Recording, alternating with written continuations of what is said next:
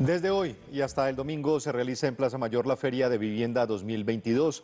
Los asistentes pueden encontrar información de subsidios y más de 300 proyectos urbanísticos.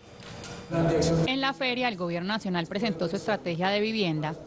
Queremos que mi casa ya llegue a familias con ingresos de menos de uno y medio salarios mínimos, que son las más pobres, que son las que muchas veces trabajan en el sector informal. Los asistentes podrán conocer 336 proyectos urbanísticos en Antioquia.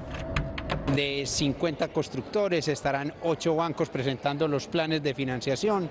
Tendremos de la misma manera la oferta de las empresas inmobiliarias con más de 5.000 unidades, cajas de compensación. El 26% de la oferta de vivienda en esta feria está ubicado en el oriente antioqueño.